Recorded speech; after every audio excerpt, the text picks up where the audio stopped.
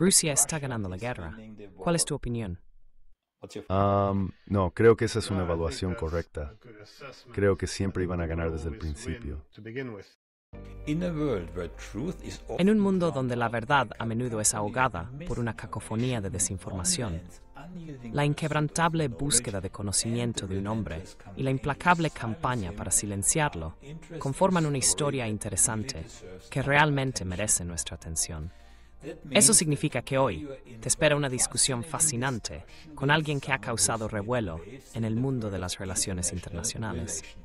Estoy hablando del profesor Glenn Deason, un científico político noruego que ha pasado bastantes años en Rusia. Glenn ha ganado reconocimiento por su análisis lúcido de los eventos globales y es un comentarista habitual en varios programas de noticias.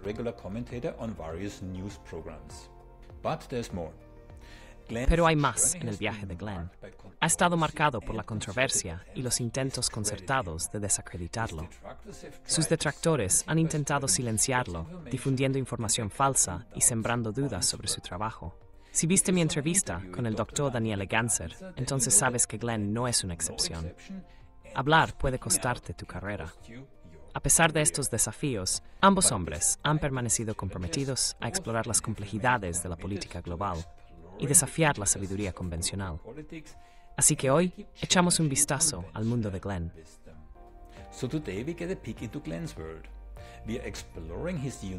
Estamos explorando sus perspectivas únicas sobre asuntos internacionales y escucharemos sobre los obstáculos que ha enfrentado en la búsqueda de discusiones abiertas e informadas sobre relaciones internacionales. Así que acompáñenme en una conversación sincera con un científico político e investigador que se niega a retroceder porque cree firmemente que los hechos deben permanecer como hechos, sin importar cuán inconvenientes sean para los poderes establecidos. El profesor Glenn Deason. Tuvimos un proceso muy sencillo. Básicamente hace una hora confirmaste esta entrevista y aquí estamos. Muchas gracias. Aprecio tu tiempo. ¿Cómo va todo en Noruega? Sí, las cosas están bastante bien aquí. Políticamente, no necesariamente, pero también tenemos nuestros problemas aquí. Por lo demás, todo está bien.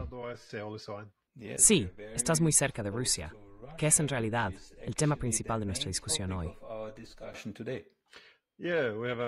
Sí, tenemos una frontera compartida en el norte. Es interesante.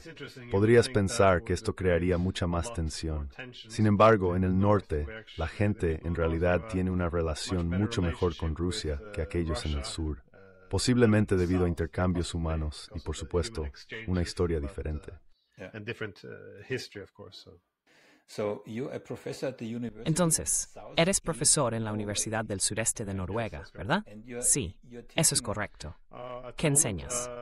Actualmente enseño economía política y sociología. Acabamos de discutir que obtuviste tu doctorado de la Universidad Libre en Ámsterdam, aquí en los Países Bajos, donde estoy ubicado. También hablas holandés, acabo de confirmarlo. Sí, un poco, pero sí. Vi que tienes un nuevo libro. Quiero decir, dejé de contar en 11 o 12 libros, algo así, ¿verdad? Pero tienes un nuevo libro. Se llama La Guerra Ucraniana y el Orden Mundial Euroasiático. Vi que incluso John Mersheimer comentó sobre él.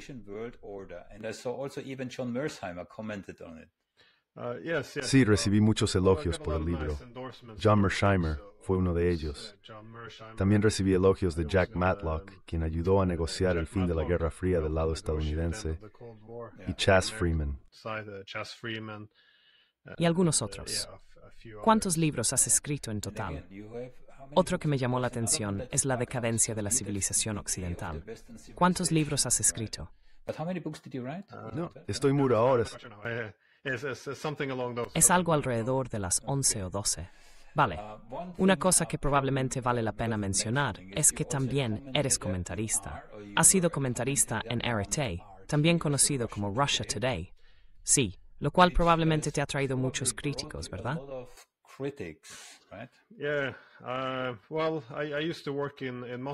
Sí, solía trabajar en Moscú como profesor en la Escuela Superior de Economía. Mientras estuve allí, a menudo iba a un estudio para participar en un programa de discusión política, entre otras actividades en canales extranjeros también. Sin embargo, cuando me trasladé a Noruega, continué escribiendo algunos artículos de opinión. Pero eso no fue bien recibido aquí, porque cualquier medio ruso es denunciado como propaganda rusa.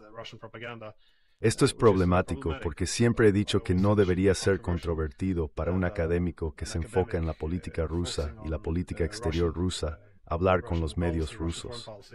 Pero es un reflejo de la cultura política que tenemos estos días, donde la gente realmente no escucha los argumentos. Solo quieren saber con quién hablaste, dónde publicaste y a dónde viajaste. Parece ser una nueva forma de controlar la academia.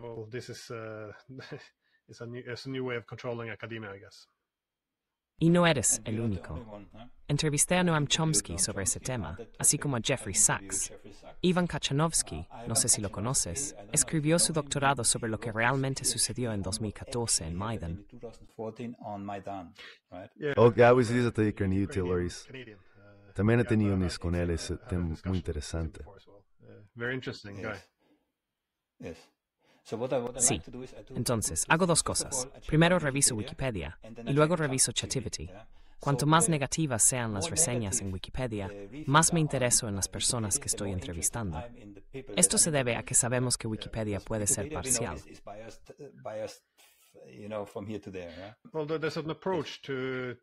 Bueno, hay una tendencia en la censura de académicos en estos días que involucra a organizaciones de derechos humanos financiadas por el gobierno. Estas organizaciones tienen activistas cuyo interés en los derechos humanos a menudo se alinea con los intereses de los que están en el poder. Esencialmente, si tienes curiosidad o deseas condenar los abusos de derechos humanos en ciertas áreas, encuentras tu capacidad de hablar como académico restringida. Cuando regresé a Noruega hace unos tres años, un pequeño grupo comenzó a publicar artículos sobre mí en varios medios de comunicación. Con cada publicación, también comenzaron a construir un perfil en Wikipedia sobre mí, dando forma aún más a la narrativa.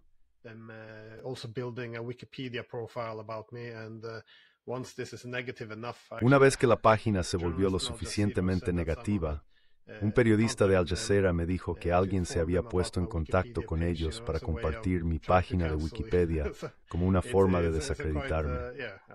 Realmente no me importa mucho Wikipedia ahora. Parece que es parte de una estrategia que utilizan para manchar tu reputación. Esto lleva a una situación en la que si algún medio local quiere hablar contigo, pueden desanimarse al referirse a esta página de Wikipedia. Y cuando recurres a medios extranjeros, también lo critican. Así que es muy desafiante ser un académico sobre Rusia en estos días, a menos que estés dispuesto a simplemente hacer eco de las declaraciones de la OTAN. El control de la información es un tema controvertido. Profundicemos en ello. Hay una afirmación de que Rusia está ganando la guerra. ¿Cuál es tu opinión? No, creo que esa es una evaluación correcta. Siempre fueron propensos a ganar desde el principio. El problema surge cuando hablamos de derrotar a Rusia sin definir realmente qué significa eso. Rusia percibe la participación de la OTAN en Ucrania como una amenaza existencial, similar a cómo lo vería Estados Unidos si China y Rusia se movieran hacia México. Así que nunca entendí qué implicaría derrotar a Rusia. Creo que nos enfrentaríamos a un nuclear antes de que se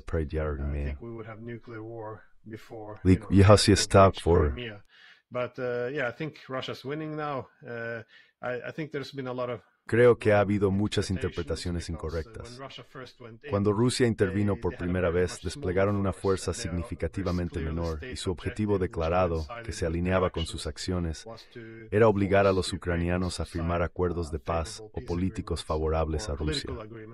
Sin embargo, esto nunca se materializó por diversas razones. Entonces, lo que observamos hace un año fue a los ucranianos lanzando ofensivas primero en Kherson, luego en Kharkov y más tarde la ofensiva de verano en Zaporizhia. En último to tratar usar en por fuerzas super militar, fondos y salarios.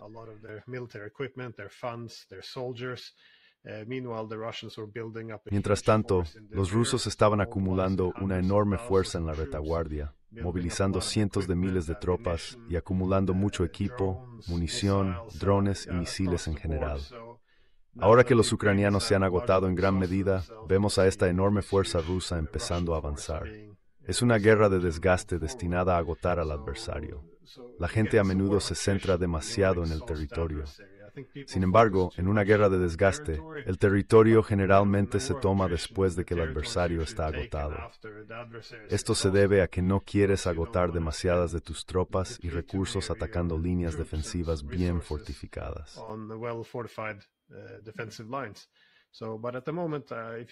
Pero en este momento, si miras los números en términos de la tasa de desgaste, como quién está perdiendo más, quién tiene más artillería, drones, misiles, y quién tiene mejor equipo de guerra electrónica, cada indicador medible sugiere que Rusia tiene una enorme ventaja. Todo esto está sucediendo ahora, en un momento en el que Estados Unidos parece estar perdiendo interés en esta guerra. Así que todo va mal para Ucrania. Incluso los medios occidentales, que hace solo unos meses denunciaban estas observaciones como propaganda rusa, ahora han llegado a reconocer esta situación. No se ve bien para Ucrania. En una situación como esta, asumirías que comenzarían las negociaciones.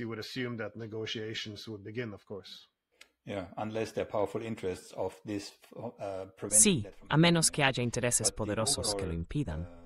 Pero en general, el mensaje inicialmente enviado hasta hace poco era que Putin invadió Ucrania sin provocación, sin ningún contexto. Es algo así como comparar lo que pasó el 7 de octubre, ignorando 75 años de ocupación. Es una práctica muy pobre enfocarse en el qué, pero no en el por qué.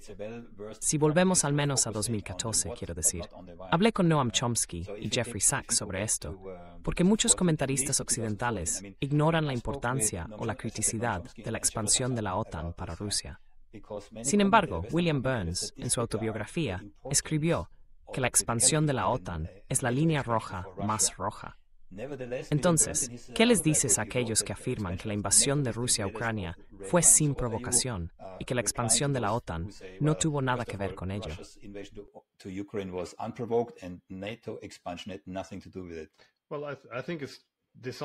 Bueno, creo que es deshonesto y claramente una mentira porque seguimos diciendo, oh, Rusia está diciendo esto. En realidad no lo creen. Pero es deshonesto porque realmente puedes rastrear lo que los principales expertos militares y políticos occidentales han estado diciendo durante ahora 30 años que esto causaría un problema.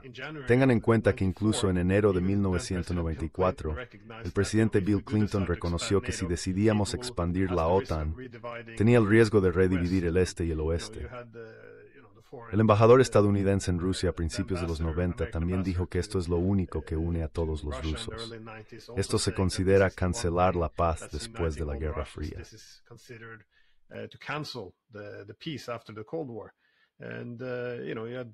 Jack Matlock, quien negoció un fin a la Guerra Fría, describió la expansión como una puñalada por la espalda, socavando la paz. George Kennan, el arquitecto de la política de contención, quien vivió hasta 2005, también fue muy crítico argumentó que expandir la OTAN era inútil y reavivaría una guerra fría. Predijo que cuando Rusia tomara represalias, el Occidente actuaría como si la respuesta fuera no provocada, atribuyéndola a la agresión rusa. Además, Madeleine Albright y otros que estaban a favor de la expansión reconocieron la fuerte oposición de Rusia a la misma. Uh, si te preguntas por qué procedieron con ello a pesar de las advertencias, mira al ministro de Defensa de Bill Clinton. Ha dado entrevistas expresando sus puntos de vista críticos sobre la expansión de la OTAN. Curiosamente señaló que dentro de la administración Clinton, sus argumentos sobre la potencial destrucción de la paz con Rusia no fueron desestimados. Más bien, la actitud predominante era de indiferencia. El sentimiento era, ¿a quién le importa? Rusia es débil y está debilitando. No necesitamos considerar su postura. Si percibe esto como una amenaza, que así sea. De tronca atarse mundial.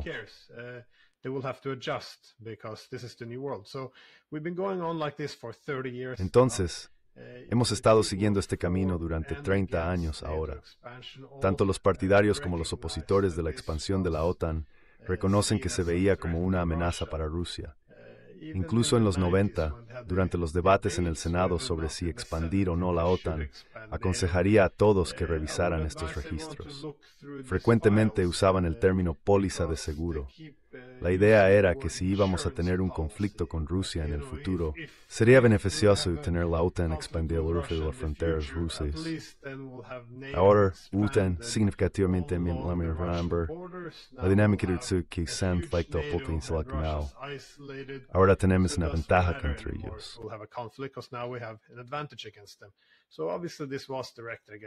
Entonces, esto estaba claramente dirigido contra Rusia. George Kennan advirtió que una vez que surgiera el conflicto, afirmaríamos que este comportamiento es simplemente típico de los rusos, etiquetándolos como expansionistas e imperialistas, y argumentaríamos que no tiene nada que ver con la OTAN. Sin embargo, esto no es cierto. Incluso si no creemos que la expansión de la OTAN suponga una amenaza para Rusia, no hay duda de que Rusia lo percibe como una amenaza existencial.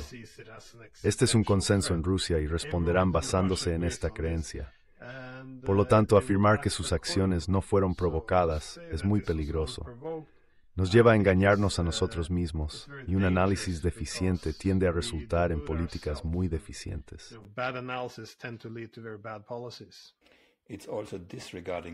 También ignora completamente lo que ha sucedido desde 2014. Quiero decir, ¿han habido qué? 15.000 rusos muertos desde 2014? Sí, asesinados por Ucrania, básicamente por su propio gobierno, porque estaban en territorio ucraniano. Pero creo que la pesadilla geoestratégica para Estados Unidos, en particular, es por supuesto la combinación del conocimiento y el dinero alemanes con los recursos rusos. El primer secretario general de la OTAN, Lord Ismay, declaró que el propósito formal de la OTAN es mantener a América dentro, a Alemania abajo y a Rusia fuera. Y hay un sitio, creo que se llama Lord is My Reformulado o algo similar. Así que puedes ver una lista completa de políticos americanos occidentales repitiendo la doctrina con respecto a la expansión de la infraestructura occidental. Y una cosa que la gente olvida es que para Rusia los países de la OTAN significan una cosa.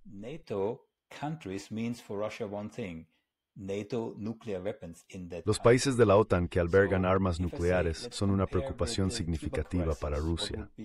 Al comparar esta situación con la crisis de los misiles en Cuba, la comparación parece adecuada. A menudo argumentamos que Ucrania tiene el derecho de elegir a qué alianza quiere unirse.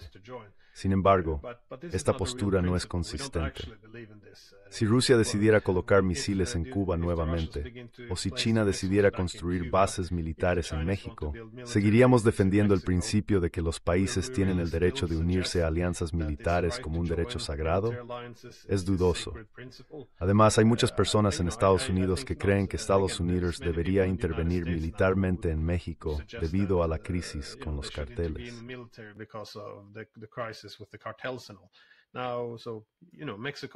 México, si busca seguridad, podría teóricamente invitar a potencias extranjeras. Sin embargo, nadie asistiría a México en esto, porque los estadounidenses se opondrían fuertemente a tal movimiento, potencialmente hasta el punto de acción militar. Por lo tanto, la idea de que la paz se puede lograr simplemente permitiendo que la OTAN se expanda sin considerar las preocupaciones de Rusia no es una propuesta seria. Ignorar las preocupaciones de seguridad rival o adversario clave podríamos estar socavando nuestro Centrándonos por un momento en las consecuencias, hay dos cosas que me gustaría discutir contigo. ¿Qué tan informado estás respecto a los ataques al Nord Stream? Bueno, lo he estado siguiendo de cerca. Pero estoy de acuerdo. Y también me gustaría situar el asunto del Nord Stream dentro del contexto más amplio de la política británica y estadounidense. Si le preguntas a cualquier historiador o científico político británico, te dirán que la política de Gran Bretaña a lo largo de los últimos siglos siempre ha sido asegurar divisiones porque son la potencia marítima dominante. Su objetivo es asegurarse de que las potencias terrestres europeas no comiencen a converger. Esto es algo que aprendieron del sistema continental de Napoleón. Es un temor que siempre ha perdurado. Ahora, por supuesto, es correcto.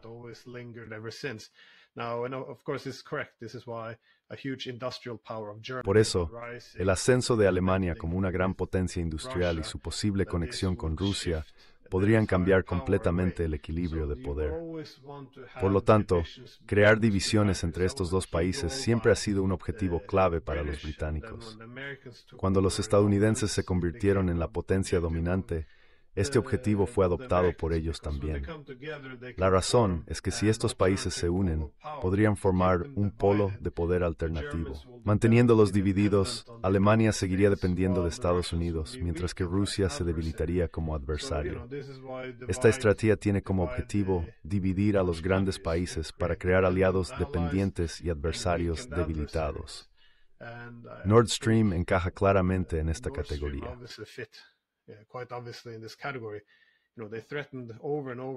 Repetidamente amenazaron durante mucho tiempo con que atacarían Nord Stream, argumentando que era peligroso porque haría que Alemania dependiera de Rusia.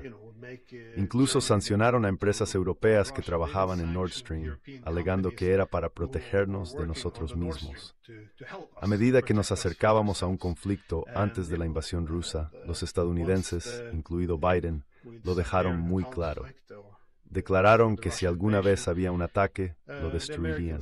Victoria Newland y Joe Biden estaban entre los que dijeron esto. Luego, cuando fue atacado, figuras como Anthony Blinken comentaron sobre la maravillosa oportunidad que era. Ahora argumentaban, finalmente podría eliminar toda dependencia europea del gas ruso. Um, Entonces inicialmente intentaron culpar a los rusos, alegando que debieron haber sido ellos. Sin embargo, cuando se publicó el artículo de Seymour Hersh, la culpa se trasladó a Estados Unidos, con menciones de asistencia noruega. Casi de la noche a la mañana, la narrativa cambió de nuevo.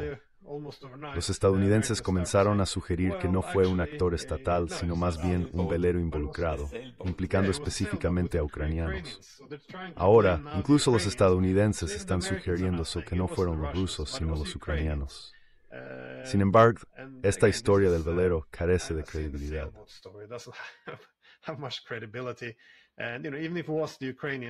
Incluso si fueran los ucranianos, no podría haber ocurrido sin el conocimiento o apoyo de Estados Unidos. Simplemente no sucedería, no en el mar Báltico. Así que es un montón de tonterías. Pero además, ahora los estadounidenses afirman que sabían incluso antes de que los ucranianos supuestamente atacaran los gasoductos Nord Stream que esto sucedería, y no estaban en contra. Sin embargo, después de que explotó, los estadounidenses inmediatamente culparon a los rusos. Ahora, ¿por qué mentirían a su propio público y al mundo entero diciendo que fueron los rusos cuando ahora incluso admiten que sabían sobre el ataque antes de que realmente ocurriera? Así que han estado mintiendo todo el tiempo. Pero de nuevo, no tengo ninguna evidencia de que los estadounidenses fueran responsables.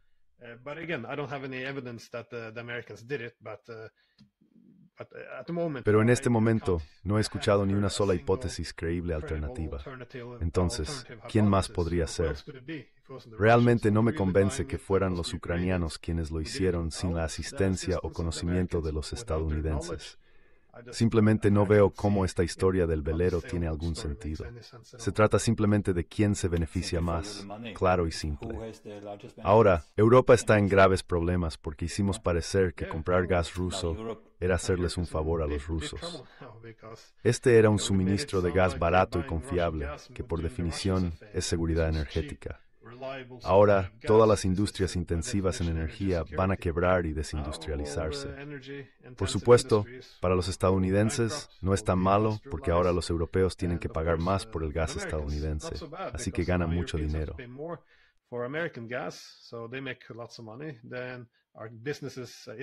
Entonces nuestras empresas e industrias ya no son competitivas, por lo que se trasladarán al otro lado del Atlántico, a Estados Unidos. No es un maltrato para los estadounidenses. Siempre me siento mal por los periodistas y políticos alemanes que tienen que pararse frente a la cámara y admitir que no saben qué pasó. Casi no se les permite discutirlo porque no pueden culpar a los estadounidenses. Pero ¿a quién más podrían culpar? Como resultado, terminan sin hablar del asunto en absoluto. También hay un artículo en el Washington Post que mencionó, después de hablar con diferentes europeos, que había un acuerdo en todo Occidente. Ahora, no hablemos más del Nord Stream porque solo puede llevar a respuestas incómodas. Así que, aquí estamos.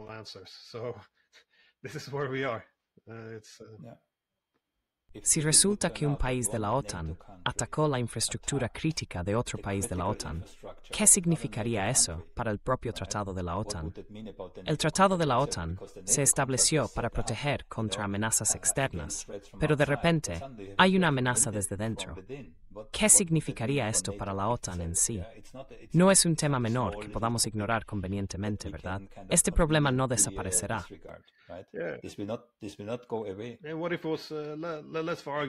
¿Y qué pasa si, por el bien del argumento, asumimos que los estadounidenses tienen razón al decir que no lo hicieron y fueron los ucranianos? Bueno, ahora estamos sugiriendo que Ucrania ha atacado a la OTAN. Por supuesto, hay intentos de eludir esto, afirmando que no fue el gobierno ucraniano, sino más bien algunos elementos rebeldes dentro de Ucrania. De repente, no se considera una acción por parte de un actor estatal, sino más bien por algunos ucranianos al azar, sin ninguna conexión gubernamental, que supuestamente salieron a navegar y volaron infraestructura crítica. El escenario es bastante absurdo.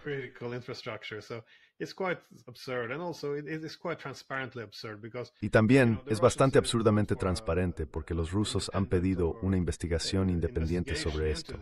En esta investigación propuesta, ni los rusos ni los países de la OTAN la llevarían a cabo. En su lugar, sería realizada por algunos países no alineados. Sin embargo, los países occidentales votaron en contra de esto. Dijeron no, no queremos una investigación independiente. La rally seremos nur no, y la veramente les enemot más que se decir. Es en forza que Brits Bay mucho ni mucho confort ni credibilidad.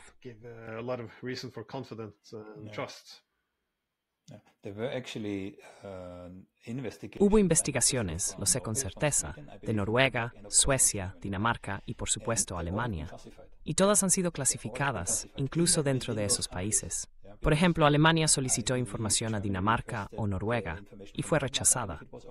Así que definitivamente hay información sensible allí. Pero pasando del acto en sí a las consecuencias, porque es mucho más grande que solo enfocarse en Alemania. Y ya mencionaste la palabra clave, desindustrialización. Y no se trata solo de Alemania. Entonces, si miras esto, también es una gran ventaja para América debilitar a un competidor principal en el mercado global. Pero, ¿qué significa realmente la desindustrialización? Es un concepto abstracto que muchas personas tienen en la parte trasera de su mente. Pero ¿qué implica realmente? Desindustrializar.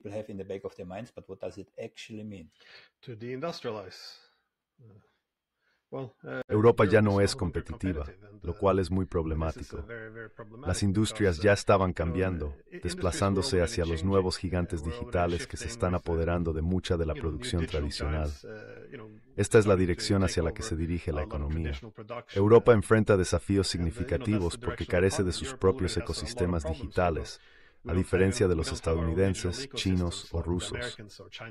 Sin embargo, lo que realmente ha impulsado a Europa hacia adelante son las industrias de exportación alemanas. Alemania tiene una economía basada en la exportación, exportando más de lo que importa y acumulando fondos. Dentro de Alemania las industrias son cruciales y muchos europeos dependen de conectarse a estas cadenas de suministro.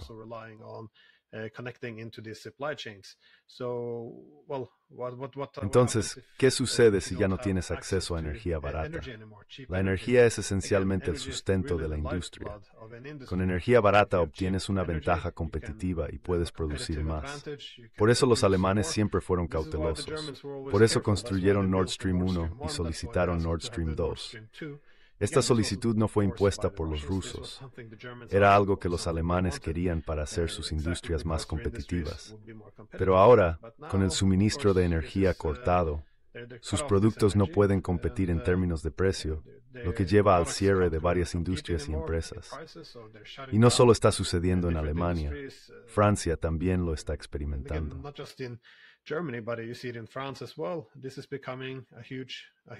Esto se está convirtiendo en una gran amenaza.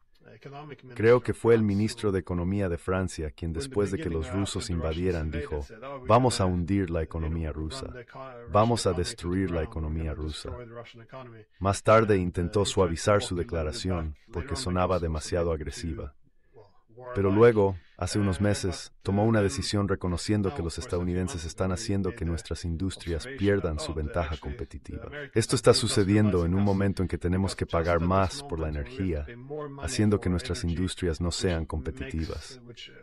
Como resultado, se están trasladando a Estados Unidos. Estados Unidos ha introducido la ley de reducción de la inflación que también proporciona incentivos para muchas industrias.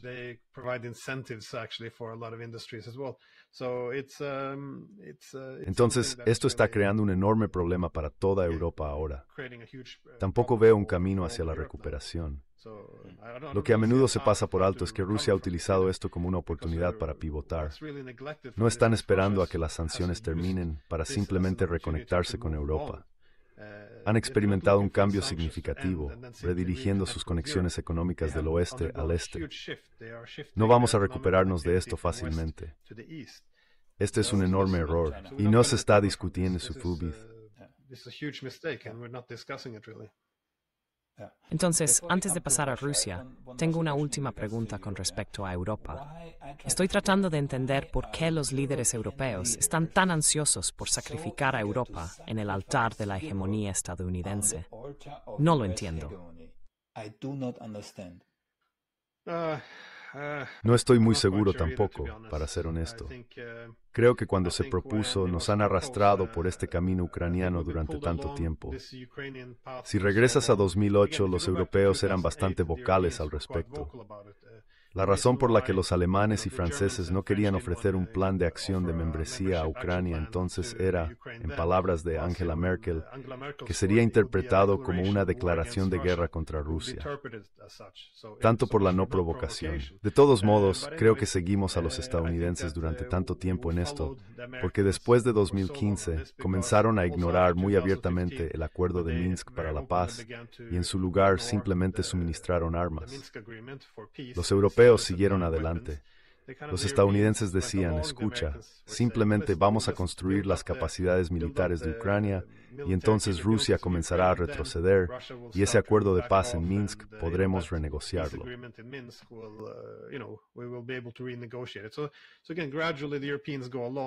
Entonces, nuevamente los europeos accedieron gradualmente.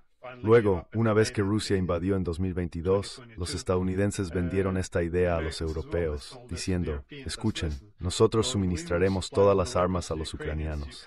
No pueden vencer a los Estados Unidos de América y a la OTAN colectiva. También vamos a imponer sanciones perjudiciales. Colapsaremos su economía y su moneda antes de que termine la semana. Muchos europeos compraron esta idea.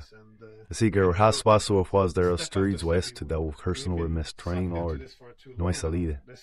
Cuando ready, no hay muchas posibilidades.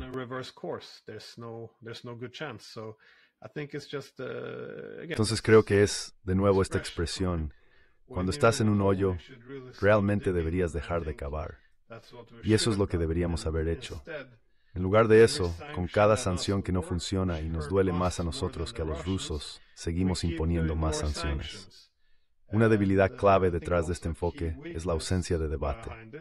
Siempre que la gente intenta explicar por qué las sanciones en realidad nos están haciendo más daño a nosotros que a los rusos, y argumentan que no deberíamos hacer esto son etiquetados como putinistas o apologistas. Se les acusa de no preocuparse por Ucrania. Si realmente les importara Ucrania, el argumento continúa, apoyarían el envío de armas sin importar qué. Este es el precio, creo, que estamos pagando por toda esta censura, la ausencia de debate y, por supuesto, ciegamente a los estadounidenses.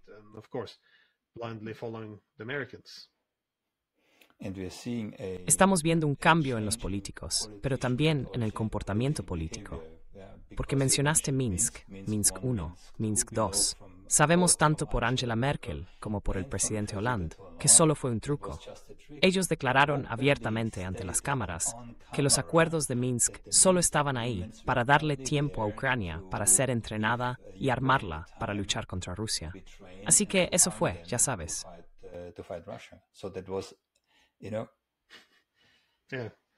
Sí, Merkel, Hollande, Poroshenko y Zelensky todos lo dijeron. De manera unánime, todos estuvieron de acuerdo. Pero por supuesto, desde el primer día los británicos y estadounidenses fueron muy vocales en su oposición. Por ejemplo, John McCain llamó al acuerdo de Minsk tonterías de Moscú. Esa fue su expresión. Otra razón, creo, podría ser la ideología que ha estado impulsando al Occidente desde el fin de la Guerra Fría. Cuando la Guerra Fría terminó, Estados Unidos promovió la idea de la Emmanuel Levy. Esto solo solar de Estados Unidos.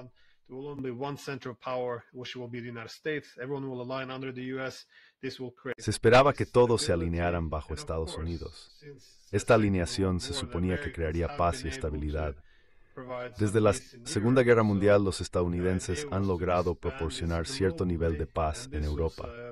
La idea era expandir esta paz a nivel global, lo cual era una propuesta muy atractiva para los europeos.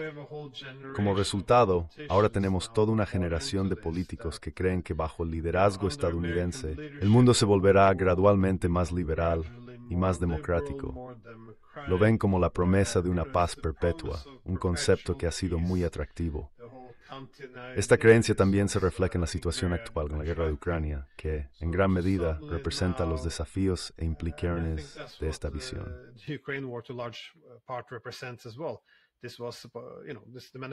Esta fue la manifestación de la expansión de la OTAN, poniendo a toda Europa bajo el liderazgo de Estados Unidos.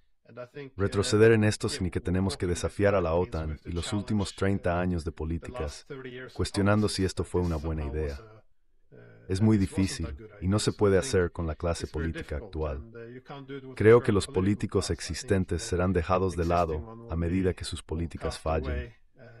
Desde Eslovaquia hasta los Países Bajos y Hungría en general, Verás a nuevos políticos llegando al poder con ideas diferentes. Estos políticos podrían estar en una mejor posición para desafiar el consenso de la hegemonía liberal. Sí, porque estás diciendo, espera un momento, acabamos de experimentar un cambio político significativo. El partido de derecha se ha convertido en el partido más grande aquí. Todavía no han formado un gobierno, que yo sepa, pero el partido de Geert Wilders tiene, creo, 35 o 37 escaños de 150. La última vez que viví en los Países Bajos fue en 2010.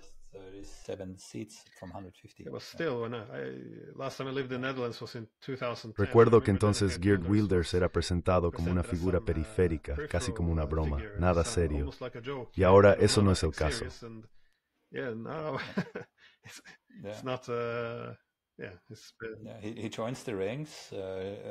Sí, se une a las filas de Le Pen en Francia y por supuesto en Italia, ¿verdad? Entonces, esos populistas están en ascenso. Pero si miras a Rusia, las sanciones occidentales están fallando. Eso fue, de nuevo, desinformación. Ya lo dijiste. Lo presentaron como si, en una semana a partir de ahora, la economía rusa hubiera colapsado. Obviamente eso no sucedió. En cambio, los BRICS están creciendo, con Arabia Saudita y otros 17 países en su lista de posibles miembros. Para Arabia Saudita, Yashunir Metin en mes a student Saudi Arabia will already join Sí, Bueno, es una forma de reorganizar el sistema económico internacional. Después de la Guerra Fría, todo se organizó en torno al colectivo occidental, con Estados Unidos en el centro. El mundo ha estado utilizando tecnologías estadounidenses y dependiendo de empresas e industrias de Estados Unidos. Todos están utilizando los corredores de transporte y las rutas marítimas que están bajo el control de la Marina de Estados Unidos. Estamos utilizando el dólar estadounidense, los bancos de desarrollo liderados por Estados Unidos, el sistema de pago SWIFT y los seguros occidentales. Todo se ha construido alrededor del Occidente.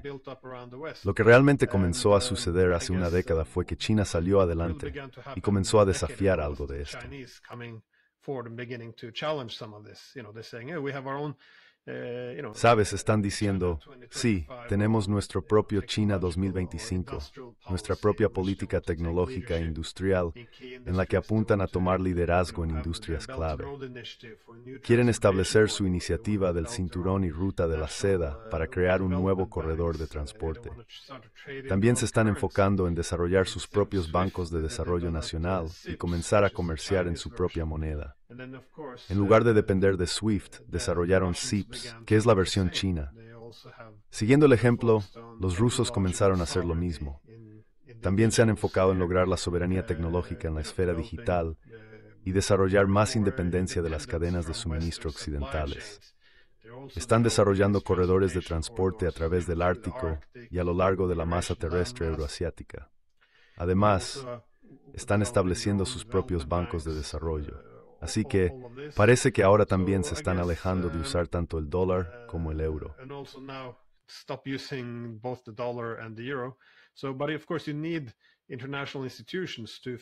Pero por supuesto, se necesitan instituciones internacionales para facilitar esta nueva infraestructura económica.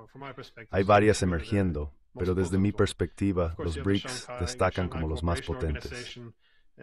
La Organización de Cooperación de Shanghái también tiene mucho potencial.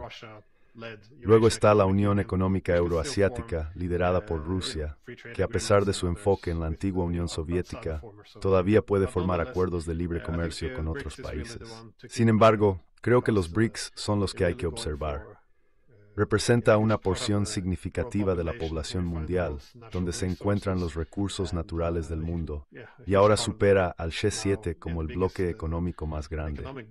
Así que está introduciendo una nueva forma de organizar la economía mundial. No es una alianza en el sentido tradicional, sino un enfoque alternativo a la organización económica global. Entonces, Occidente a 96,6% de la importación operación mundial. Y después BRICS, BRICS hubo crecido 56%, ¿no?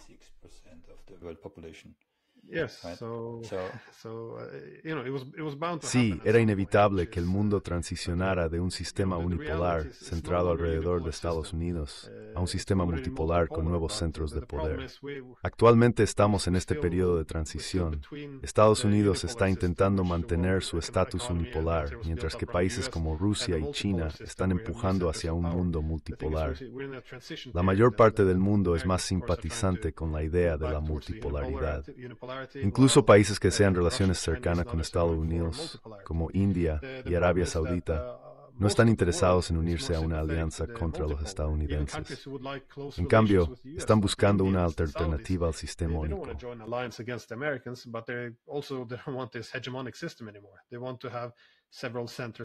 Quieren múltiples centros de poder para diversificar sus conexiones económicas. De esta manera, Estados Unidos no puede ejercer tanta presión sobre ellos. Este deseo se ha intensificado bajo sanciones por dos razones principales. Primero, por necesidad, porque los rusos no pueden utilizar la infraestructura económica controlada por Estados Unidos. Segundo, genera preocupaciones para el resto del mundo sobre la posibilidad de que sus fondos sean confiscados, sus activos tomados o ser cortados del dólar y los bancos estadounidenses.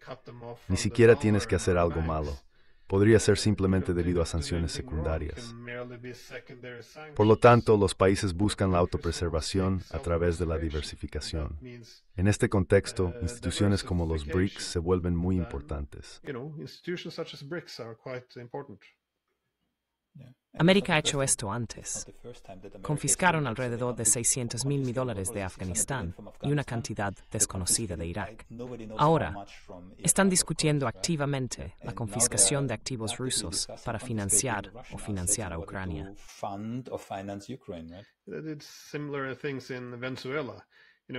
Hicieron cosas similares en Venezuela. Anunciaron que no reconocían a su presidente y decidieron reconocer a Juan Guaidó en su lugar, dándole control sobre los activos. Los británicos, si no me equivoco, incautaron sus reservas de oro.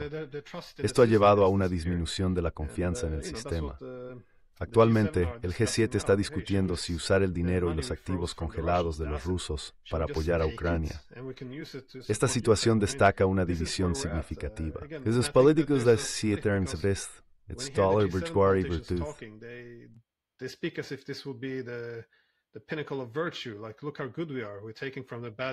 Mira lo buenos que somos, dicen. Estamos tomando de los malos invasores y dando a la víctima. Sin embargo, esta no es la forma en que el resto del mundo lo ve. Están conmocionados e indignados.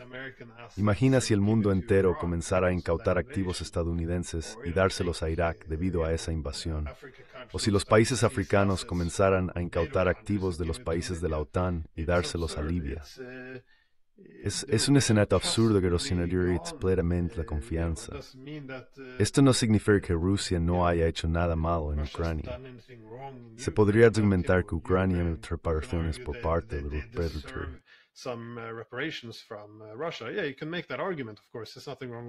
Sí, puedes hacer ese argumento, por supuesto. No hay nada de malo en eso, pero la forma en que esto se está haciendo ahora intentando desarrollar mecanismos legales para lo que esencialmente equivale a un robo es preocupante. Estamos en un punto en el que si no lo apoyas, te denuncian como putinista. Intentarán construir tu página de Wikipedia para hacerte sonar como un traidor horrible. Pero el hecho es que este enfoque no es bueno para nosotros. ¿Quién volverá a confiar en nosotros? ¿Quién confiará en nuestros bancos, nuestros corredores de transporte? Este problema afecta todos los diferentes aspectos de la conectividad económica. Hicimos lo mismo con los chinos.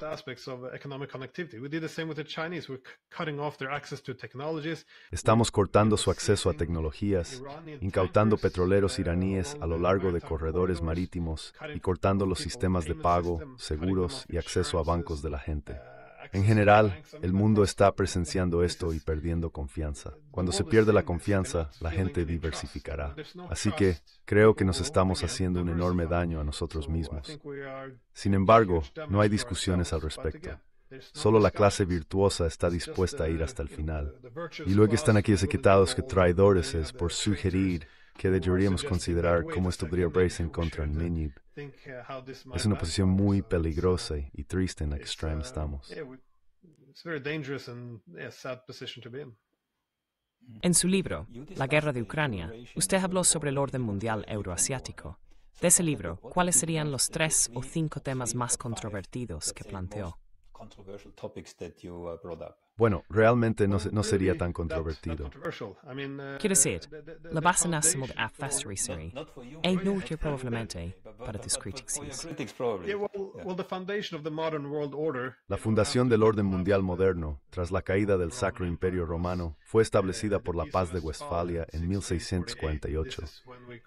Esto creó la base del orden mundial moderno, que se construye sobre dos principios clave, la igualdad soberana, que significa la soberanía del Estado, y la garantía de paz a través de un equilibrio de poder. Esto significaba que ningún país único podría dominar el mundo entero porque muchos estados se equilibrarían entre sí. Sin embargo, después de la Guerra Fría, nos alejamos de este modelo. Optamos por la Pax Americana o un sistema hegemónico. Este cambio tuvo dos implicaciones principales. Primero, significó renunciar al principio de un equilibrio de poder porque ahora había solo una superpotencia y nadie podía equilibrarla.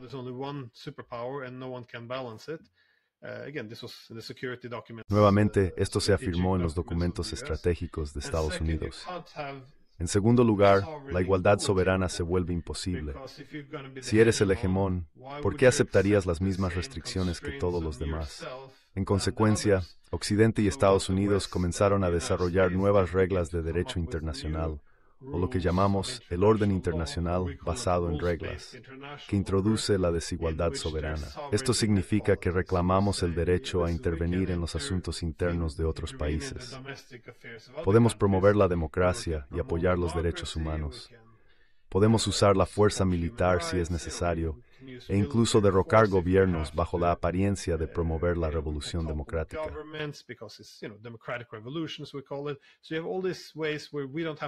Entonces hemos creado un sistema donde no tenemos que respetar la soberanía de otros estados, pero ellos deben respetar la nuestra. Esto contradice completamente la paz de Westfalia, que es la base del orden mundial moderno. Lo que estoy diciendo es que países como Rusia y China quieren establecer una versión renovada de Westfalia, este concepto no nos es ajeno, pero difiere del sistema antiguo. La Westfalia original promovía la igualdad soberana entre los europeos. Sin embargo, durante esa era colonizamos el resto del mundo, por lo que no fue verdaderamente completa. Pero ahora lo que los chinos y rusos buscan es un sistema basado en la igualdad soberana completa. Esta vez también tendría que estar fundado en el principio de soberanía igual.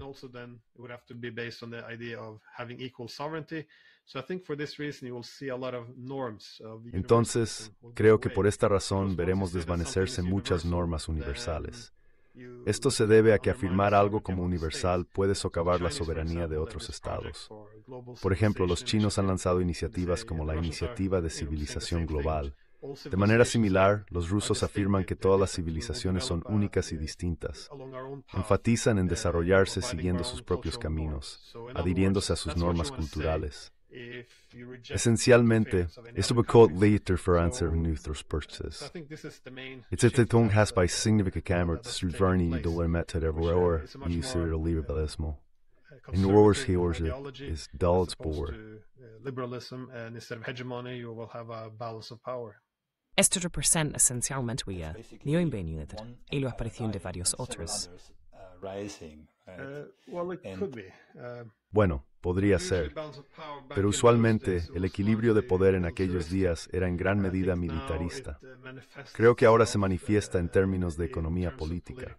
Por ejemplo, los países no quieren tener demasiada dependencia de un solo centro de poder. Es por esto que muchas personas dicen que América está en declive y China está en ascenso. Pero mi punto es que no simplemente tendrás a China reemplazando a América porque los países no quieren otro hegemón. Incluso Rusia, que se considera el mejor amigo de China, demasiada dependencia de China.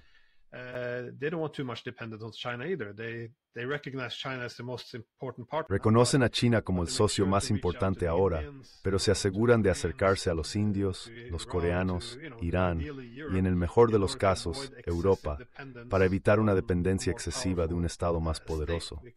Esto se debe a que tienes esta interdependencia asimétrica. China ganará mucha influencia. Entonces, ves a los países intentando diversificar su conectividad económica para evitar esta dependencia excesiva de cualquier polo de poder.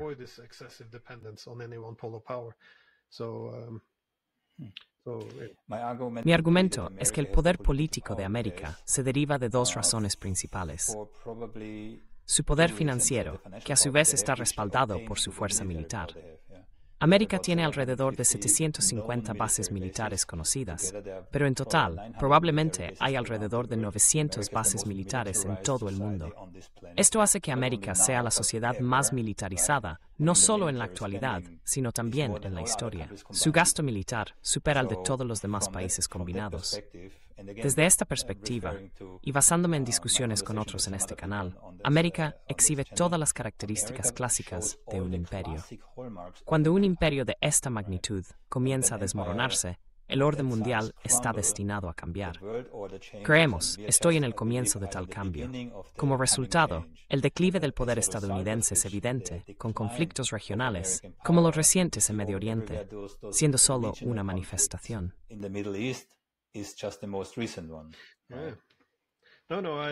No, estoy de acuerdo.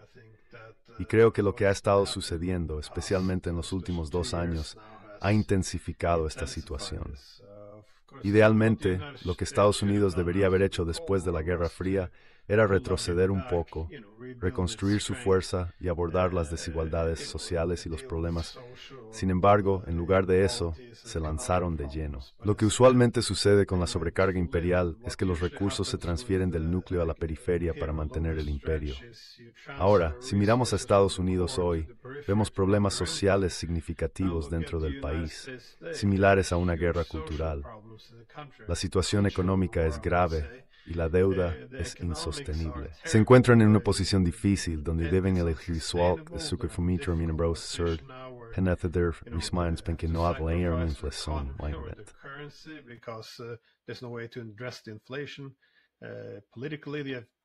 Políticamente ahora hay dos bandos que se odian mutuamente.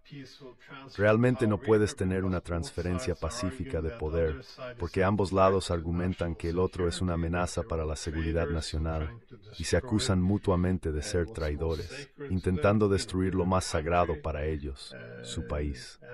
Mientras todo esto sucede, por supuesto, su influencia en el extranjero también está cambiando. Por eso ahora la gente está discutiendo sobre las implicaciones de perder en Ucrania para la OTAN. Pero más allá de Ucrania, considera Medio Oriente. La idea completa de que Estados Unidos os debería dar lecciones al mundo sobre derechos humanos, especialmente después de colaborar con Israel en acciones fuertemente criticadas, está siendo cuestionada.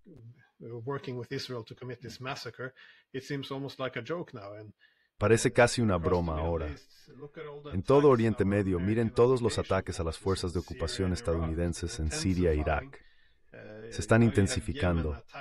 Yemen está atacando a los buques de guerra estadounidenses en el Mar Rojo. Así que el disuasivo está deslizándose y más países están oponiéndose ahora. Se están oponiendo a América militar, económica y políticamente. Todo esto está sucediendo en un momento en que Estados Unidos también se está fragmentando internamente. Una lección muy antigua es que realmente no puede ser un imperio y una democracia al mismo tiempo. Algo va a romperse. De hecho, parece que muchas cosas se están rompiendo al mismo tiempo. Sí, por eso estamos viendo la militarización de la policía en América, y no solo en América, sino también en otros países occidentales, ¿verdad? Es para mantener a las poblaciones bajo control.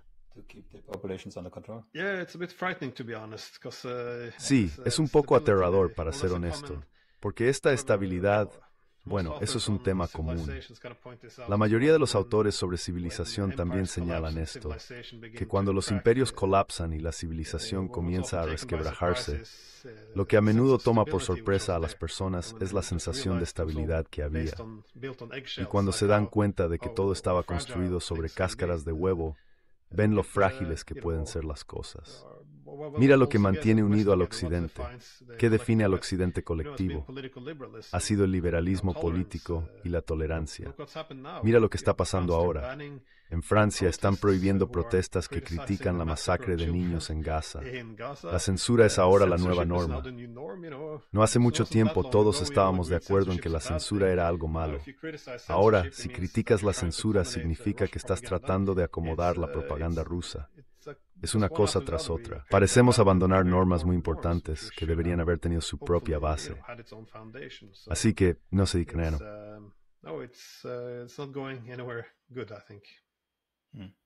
Si volvemos nuestra atención hacia Rusia, particularmente hacia Putin, a menudo se le describe como un loco, ¿verdad? Como Putin el loco, actuando sin provocación y de manera irracional.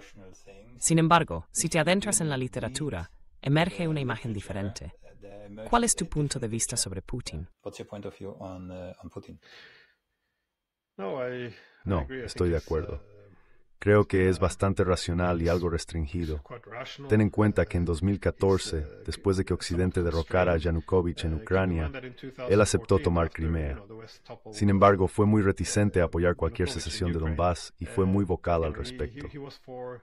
La principal presión sobre él vino de las figuras más belicistas que decían, escucha, Occidente no querrá paz con nosotros, se están preparando para el conflicto.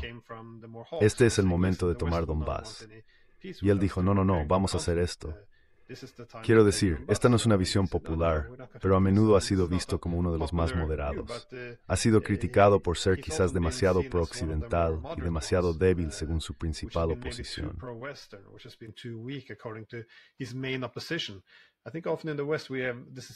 Creo que a menudo en Occidente tenemos esta suposición de que la principal oposición en Rusia es algún partido liberal, un descendiente de la era de Yeltsin.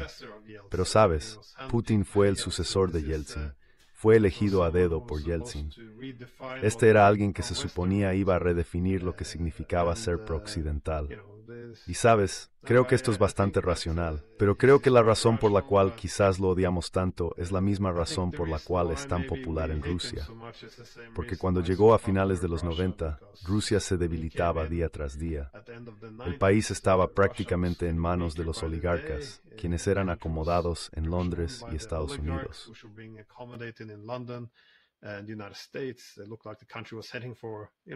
Parecía que el país se dirigía al mismo destino que la Unión Soviética. Pero mira el país hoy, ha revertido completamente su suerte. La sociedad prospera con una enorme clase media. En 1999 estábamos bombardeando a sus principales aliados, los serbios. Hoy estamos lanzando todo lo que tenemos contra los rusos y aún así no podemos derrotarlos. La economía es sólida. Le ha ido bien a Rusia. Eso no significa que tenga que estar de acuerdo con todo lo que dice. Sin embargo, la forma en que se le retrata en los medios aquí es bastante absurda. Siempre se le muestra como el nuevo Hitler, lo cual no es una valoración muy razonable. Saddam Hussein fue como Hitler. Gaddafi fue etiquetado como un Hitler. Siempre conveniente, sujetista la narrativa inventada. Es una triste mera la política internacional. Lo explicaría como algo en lo que un fanático o un niño podría creer. La razón por la que tenemos conflictos con cualquiera de estos países es porque el líder es muy malo. Si tan solo pudiéramos derrocar al gobierno o matar al líder, entonces todo estaría bien. Esta simplificación excesiva es común. Nunca discutimos los intereses nacionales competidores. Siempre apuntamos al liderazgo, ya sea en Irak, Libia, Rusia, China o incluso con aliados como Turquía. Actualmente estamos experimentando tensiones con los turcos y hay conversaciones sobre deshacerse de Erdogan. Sin embargo, la gente en Turquía lo apoya. Eso no significa que tengamos que gustarnos, pero necesitamos considerar los intereses nacionales y la posición estratégica de Turquía para entender por qué lo apoyan.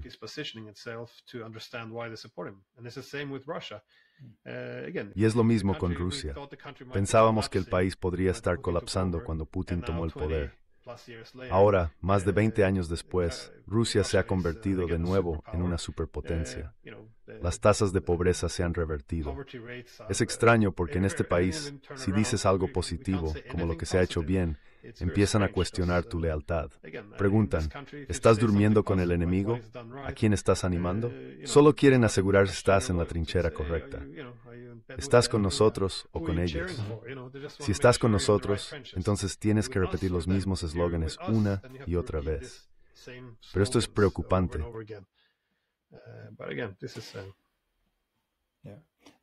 Lo que me sorprendió fue cuando se impusieron sanciones a Rusia. Había expectativas de que en una semana la economía se desmoronaría. No soy economista, pero sabía que Rusia no tiene deudas.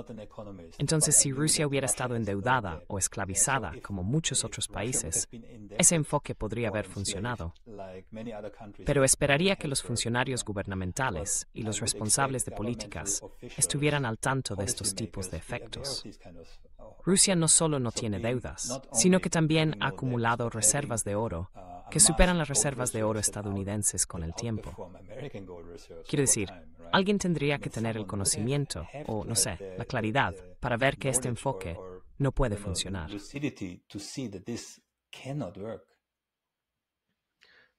No, creo que estaban pagando sistemáticamente todas sus deudas y acumulando enormes reservas extranjeras. Los rusos también estaban acumulando una cantidad significativa de reservas de oro y diversificando sus cadenas de suministro.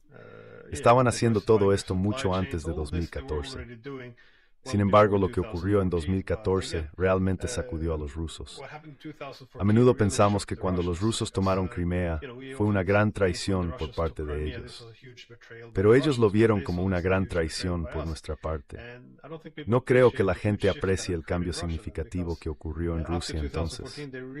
Después de 2014, realmente comenzaron a intensificar su diversificación lejos del occidente, porque ya no veían un futuro con el occidente.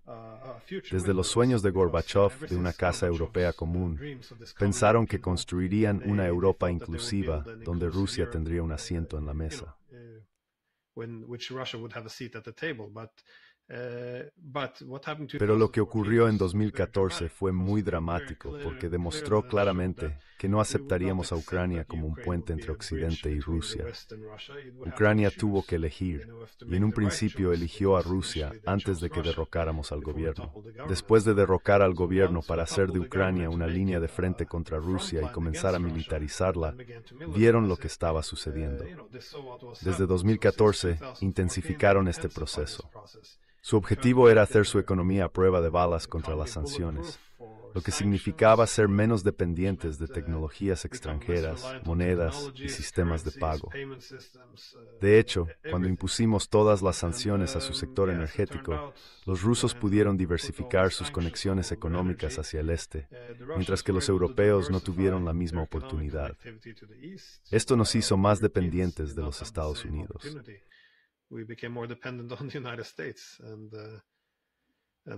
Es una historia diferente. Escuché que Rusia firmó un contrato de 50 años con China respecto al gas. Eso es un compromiso a largo plazo, lo cual apoya tu punto. No puedes simplemente terminar una guerra y esperar que todo vuelva a ser como antes. Eso no es realista. Mientras tanto, nosotros los europeos nos hemos vuelto dependientes del gas de fracking. Este gas es más sucio y mucho más caro.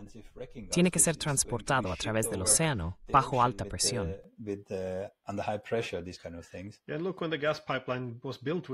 Y mire cuando se construyó el gasoducto con China, cuando firmaron todos los contratos. Fue inmediatamente después de que derrocamos al gobierno en Ucrania. Se hizo el acuerdo del gasoducto Poder de Siberia con los chinos. Estoy seguro de que los rusos hicieron algunas concesiones para poner esto en marcha lo más rápido posible. Pero había una razón para esto. Vieron hacia dónde se dirigían las cosas. Entonces esto es significativo. Y ves lo mismo con India. Antes de 2022, apenas en energía o petróleo a India. Ahora se han convertido en el mayor proveedor.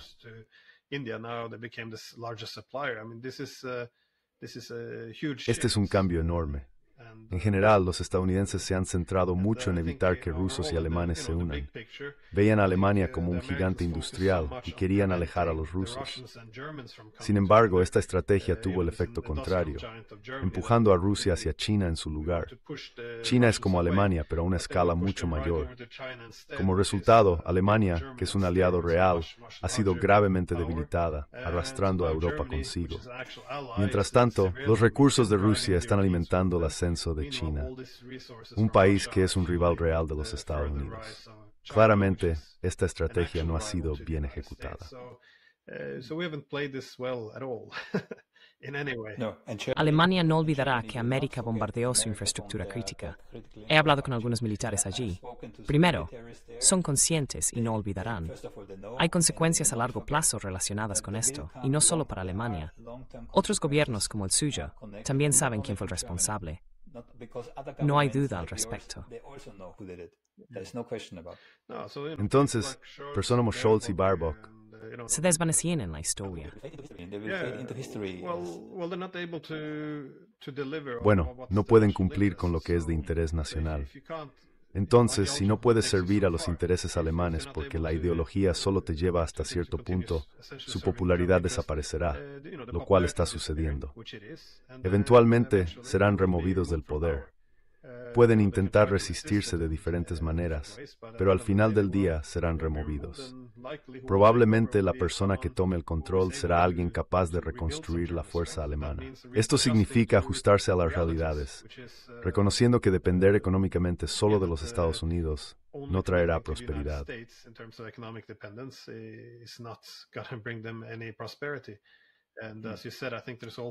Como mencionaste, también hay cierto resentimiento porque los alemanes habían construido su infraestructura energética durante muchos años para asegurarse de permanecer como una potencia industrial. Luego llegaron los estadounidenses y la dañaron severamente, incluso celebrando frente a ellos, proclamando lo maravilloso que era esto, viéndolo como una oportunidad. El socavar y destruir su economía tendrá consecuencias. Sin embargo, esas consecuencias no son inmediatas porque Scholz ha invertido toda su carrera política en este proyecto. Así que resistirá vehementemente, pero en última instancia será forzado a convertirse en una nota al pie de la historia. De esos cuatro gasoductos, tres fueron bombardeados. Uno todavía está intacto, probablemente por accidente. Sin embargo, Alemania hasta ahora se ha negado a aceptar cualquier gas de Rusia. Sí, deberían al menos empezar a mantener sus opciones abiertas.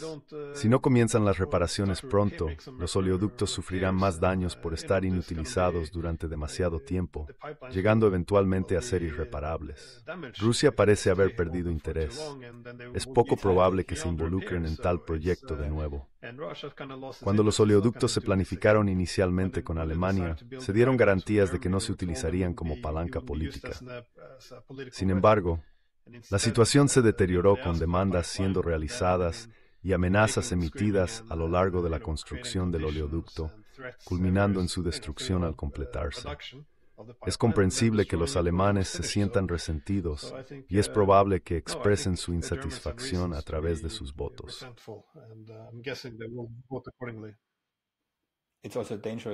También es una estrategia peligrosa, ¿verdad? Quiero decir, si vives en una casa de cristal, no deberías lanzar piedras. Adivina qué más hay allí abajo en el fondo del mar, desprotegido por miles de kilómetros. El sustento de nuestra sociedad occidental, ¿verdad? Autopistas de información, cables, ese tipo de cosas. Pero con tu permiso, me gustaría dedicar un par de minutos en el Medio Oriente. No sé tanto como tú, pero he leído algunas cosas. ¿Hay algún interés de Rusia y Putin en el conflicto que está ocurriendo actualmente en el Medio Oriente? Bueno, parte de ello es aprovechar las oportunidades, por supuesto, porque para los estadounidenses, Israel tendrá una prioridad más alta que Ucrania. Y luego está el petróleo. No hay petróleo en Ucrania, pero hay mucho petróleo en Medio Oriente. Entonces, por supuesto, Rusia está aumentando su presión a lo largo de la línea del frente en Ucrania en respuesta a esto. Pero va más allá de eso. La gente a menudo se enfoca en cómo Kissinger pudo causar una división entre los rusos y los chinos. También asistió en conseguir que los rusos fueran expulsados del Medio Oriente, especialmente de Egipto. Sin embargo, Rusia está haciendo un regreso significativo y lo está haciendo junto a los chinos. Stan Reis central a hintermente Fords Evershuisers de Genes, Canirán, etis Vikilustui y otros estados del Golfo. The jury same sort of being ein says still again before China. Putin only really went to Pero ahora, por supuesto, fue a Arabia Saudita y a los Emiratos Árabes Unidos, y creo que muchos en Occidente se sorprendieron por la bienvenida que recibió en ambos países. Sin embargo, uh, ellos acogieron muy bien a los rusos, así como a los chinos. Esto no significa que quieran unirse a una alianza antioccidental o algo por el estilo. Simplemente significa que quieren diversificar Así que en este momento creo que van a ser atraídos. Verás más participación, no solo con los chinos, sino también con los rusos en Medio Oriente. Formarán más alianzas para desarrollos tecnológicos e industrias comunes. También verás más corredores de transporte siendo establecidos.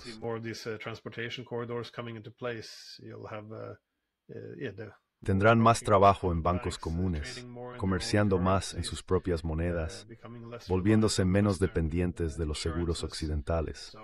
Entonces creo que toda esta nueva conectividad económica también se está traduciendo en oportunidades políticas. Ten en cuenta, cuando los estadounidenses dominaban Medio Oriente, sabían lo que estaban haciendo. Como todos los imperios utilizaron tácticas de dividir y conquistar, tenían interés en enfrentar a los árabes contra los iraníes, porque hacía a los árabes dependientes de América y debilitaba a los iraníes, permitiendo a América gobernar. Pero cuando los chinos y rusos entraron, empezaron a hacer algo diferente.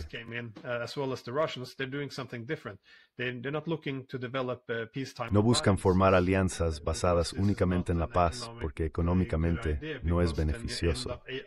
Este enfoque podría llevar a alienar a un lado. En cambio, los chinos y rusos están adoptando una estrategia diferente. Por ejemplo, cuando se relacionan con Irán para finalizar acuerdos económicos, también hacen esfuerzos por relacionarse con Arabia Saudita. Evitan favorecer a uno sobre el otro. Este enfoque fue evidente cuando después de visitar Arabia Saudita, Putin invitó al presidente a Moscú para firmar acuerdos. Proceden con precaución. Esta diplomacia cuidadosa es como los chinos facilitaron con éxito las negociaciones de paz entre los saudíes y los iraníes.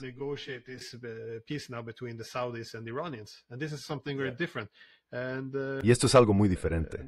Están construyéndolo. Los iraníes y saudíes realmente están intentando normalizar relaciones porque ninguno de ellos quiere ser utilizado por potencias extranjeras. Esto no significa que no tengan problemas.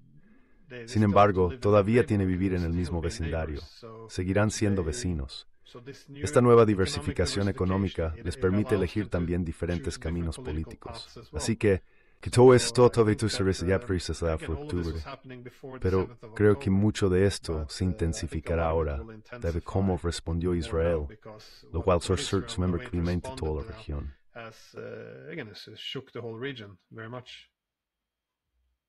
Galvanizó, creo, algo alrededor del mundo que no estaba allí antes, ¿verdad? Acabo de regresar de Amán. Pasé algún tiempo allí, hablando con la gente y entrevistando a algunos. Lo que escucho es que de alguna manera incentivó a toda una nueva generación a interesarse en ese conflicto, ¿verdad?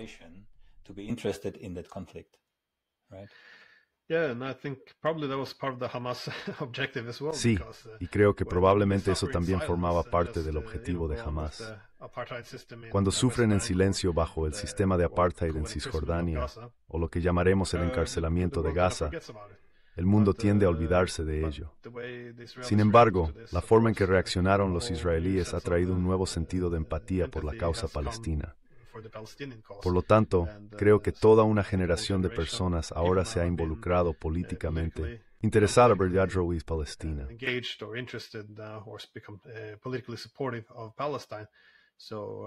Entonces, no, creo, ¿cuál es la situación en Noruega desde tu perspectiva? ¿Cómo está la situación en Noruega? ¿Cuál es el sentimiento entre la población general? ¿Cuáles son los sentimientos o políticas del gobierno con respecto a Palestina?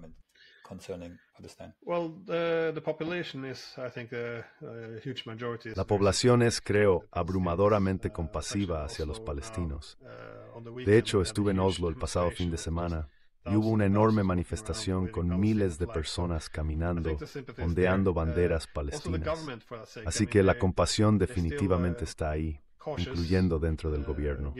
Aún son cautelosos, dado que no quieren molestar demasiado a los estadounidenses, pero en comparación con otros europeos como los alemanes o los franceses, el gobierno noruego es, creo, mucho más compasivo hacia la causa palestina y más vocal al respecto que muchos de sus contrapartes europeos.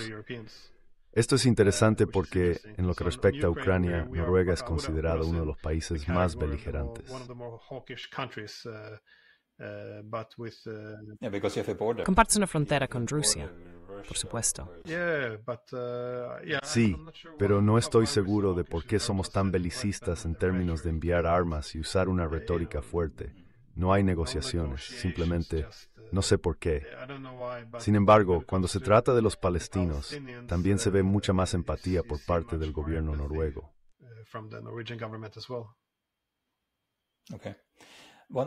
De acuerdo. Una última pregunta, si me permite. Me interesa porque has escrito bastantes libros, de hecho, más que solo un par, y sé que has enfrentado críticas significativas. Entonces, ¿cuáles son los temas que han atraído más críticas, por falta de una mejor palabra?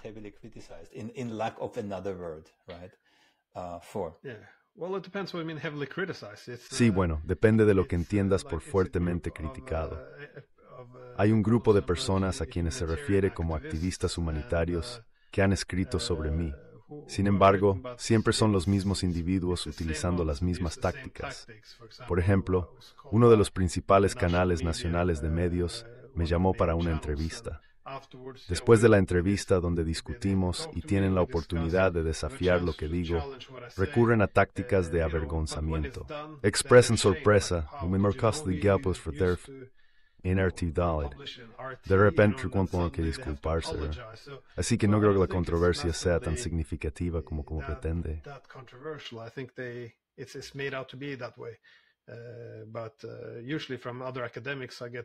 Pero usualmente recibo muchos correos electrónicos de apoyo de otros académicos. Sin embargo, se siente un poco como una cultura de cancelación, donde una minoría vocal intenta dictar por el resto. Mis temas han sido variados. Inicialmente me centré en la política de seguridad europea y rusa. También he escrito libros y numerosos artículos sobre el conservadurismo ruso y el regionalismo geoeconómico, explorando cómo Rusia intenta construir nuevas regiones geoeconómicas. Adicionalmente, he escrito sobre la propaganda política, específicamente la rusofobia, y cómo se construye la propaganda antirrusa, examinando la ciencia de la propaganda.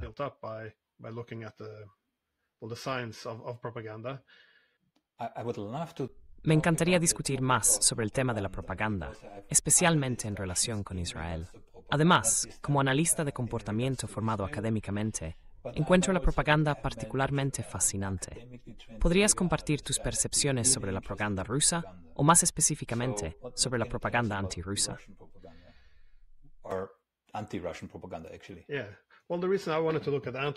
Sí, bueno, la razón por la que quería explorar la propaganda antirrusa es porque durante la Guerra Fría, la propaganda más efectiva provenía del Occidente. Esta efectividad se debía en gran medida a la credibilidad de las fuentes utilizadas en la propaganda. También he notado cómo actualmente RT es condenado como propaganda. Sin embargo, es relativamente ineficaz porque es ampliamente conocido que está financiado por el Estado y presenta una perspectiva rusa. Para que la propaganda sea convincente, necesita tener credibilidad de fuente. Esto implica crear la apariencia de neutralidad. Durante la Guerra Fría, por ejemplo, los británicos y americanos utilizaron con éxito industrias privadas y medios de comunicación para difundir su propaganda de manera más efectiva, ya que estas fuentes eran percibidas como neutrales o independientes.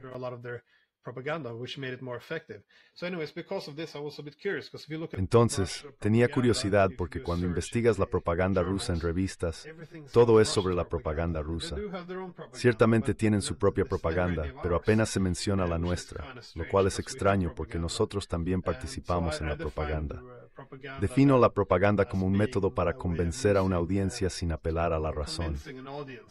La propaganda no se trata solo de mentir, a menudo apela a la mente inconsciente.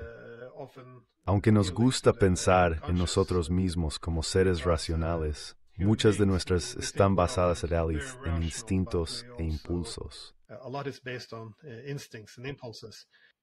Uh, Un aspecto clave es que nos organizamos en grupos y siempre nos dividimos en nosotros y ellos. Uh, Entonces lo que a menudo vemos en la propaganda es la manipulación de las heurísticas o las lentes a través de las cuales interpretamos el mundo. Walter Lippmann y otros, hace más de un siglo, discutieron cómo a medida que el mundo se vuelve más complejo, formamos opiniones y entendemos lo que está sucediendo en países como Irán, Venezuela, Rusia, China y Alemania. Es ese fantuito a todos se dan. La solución es at women via songs con Kenten y una forma de interpretar el mundo.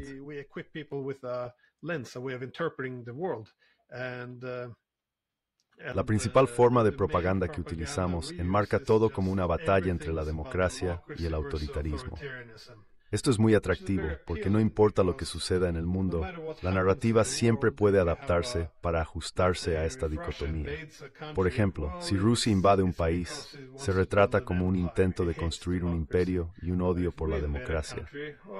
Sin embargo, si nosotros invadimos un país, se marca como un esfuerzo por apoyar los derechos humanos y fomentar la democracia. Incluso si cometemos errores, se sugiere que lo hacemos con las intenciones correctas. Este enfoque permite la creación de un encuadre favorable para cualquier conflicto. La propaganda antirrusa es particularmente interesante en este contexto. Sirve para dividir y construir identidades de grupo distintas, definiendo quiénes somos y quiénes son ellos. Históricamente, Rosie Straight en nuestro opuesto, es nuestro oeste en Europa reforzando nuestra identidad gross.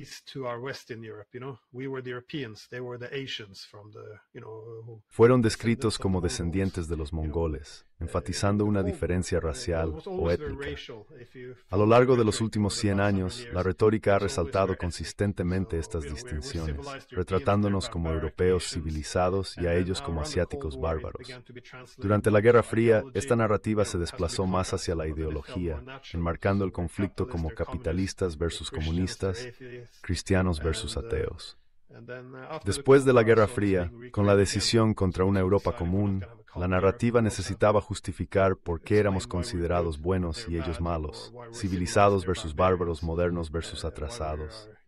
Esto llevó a la reinvención de la narrativa, enmarcando todo a través del prisma de la democracia liberal versus el autoritarismo. Esta perspectiva no es original mía, pero es una observación crítica de cómo se construyen y perpetúan estas narrativas.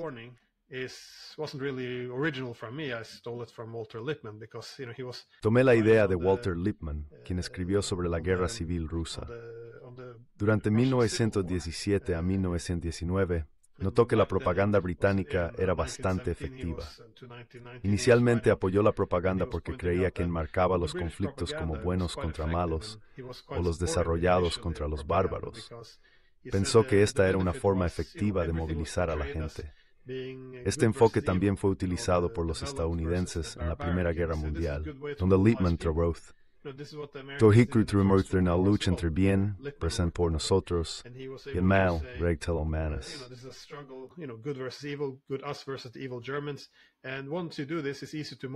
Una vez que haces esto, es fácil movilizar a la gente porque siempre estás luchando contra el mal.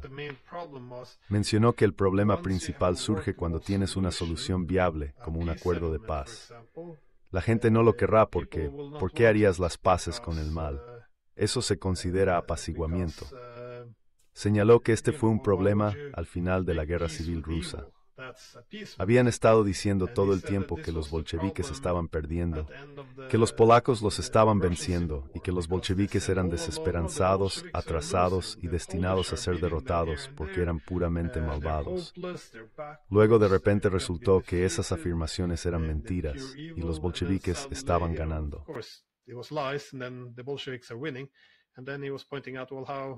Señaló que una vez que estaban ganando, establecer relaciones diplomáticas se volvió muy difícil para los británicos. Esta situación parece mucho a lo que estamos experimentando hoy. Lo mismo ocurrió con los alemanes, a quienes se etiquetó como el mal puro. Se suponía que sería la guerra para acabar con todas las guerras. Sin embargo, cuando se hizo posible un acuerdo de paz, fue rechazado. En su lugar, hubo un empuje por la destrucción completa de Alemania. Tras su derrota, se les forzó a aceptar un acuerdo humillante, sentando las bases para otra guerra mundial. Esto ilustra los peligros de la propaganda. Probablemente estés familiarizado con Edward Bernays. Sí, Edward Bernays, el sobrino de Sigmund Freud. Sí, es el sobrino de Sigmund Freud. Así es como creo que describiría la propaganda. Es esencialmente el marketing de la política. El marketing vende ideas. Por ejemplo, cuando compras un coche, no solo estás comprando transporte, estás comprando un símbolo de estatus, quizás incluso ajour o prestigio. Esto es lo que Bernays hizo con la política. Cuando quería convencer a las mujeres para que fumaran cigarrillos, los marcó como antorchas de libertad. Así que vendió la idea no meramente como fumar, sino como representando el empoderamiento de las mujeres. Esto es lo que es. Utilizó las mismas ideas para derrocar al gobierno en Guatemala. Dijo, oye, escucha, esto es sobre la libertad, la libertad prevaleciendo sobre el comunismo. No tenía nada que ver con eso. Todos los historiadores están de acuerdo con esto. Todo se trata de cómo lo comercializas. Esto también es el marketing de la política. Es por esto que siempre que hay un conflicto, lo primero que dirán los políticos estadounidenses y de la OTAN es, oh, esto es sobre la libertad, la gracia versus las intenciones malignas.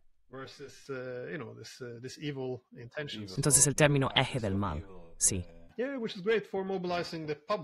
lo cual es excelente para movilizar al público y funciona. Incluso cuando Rusia invadió Ucrania, muchos estadounidenses no sabían dónde estaba Ucrania en el mapa. Sin embargo, todos tenían una fuerte convicción sobre la situación. Creían que se trataba de querer libertad, paz y democracia. Y luego los rusos vinieron y se lo llevaron en su búsqueda por reconstruir su imperio y restaurar la Unión Soviética. Así que siempre es el mismo marketing, los mismos eslóganes, el mismo llamado emocional. Es bastante efectivo. Por cierto, publiqué un libro que salió dos meses antes de que Rusia invadiera Ucrania. Probablemente habría tenido mucho más material si hubiera esperado seis meses. Pero intenté seguir el patrón porque, especialmente después de derrotar a Napoleón a principios del 1800, los británicos intensificaron su propaganda antirrusa.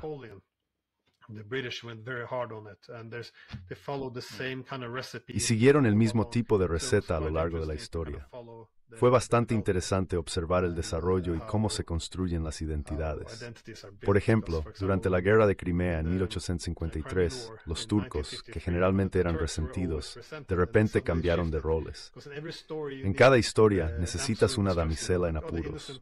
Los turcos, típicamente presentados como villanos debido a su trato hacia los griegos, de repente fueron retratados como inocentes. Entonces tenías a los malvados rusos y el Salvador británico vendría a rescatar a los turcos del mal. Estas identidades políticas se construyeron casi de la noche a la mañana para enmarcar la narrativa. Muchos investigadores británicos de la época se sorprendieron por la aparición de esta narrativa. Es bastante fascinante ver un patrón común durante los últimos al menos 200 años. En ese sentido, profesor Glenn Deason, realmente le agradezco su tiempo. Fue una conversación esclarecedora. Desearía que pudiéramos continuar y no puedo prometer que no volveré a contactarlo. Pero por hoy, muchas gracias por su tiempo. Se lo agradezco mucho. Es un placer, cuando sea.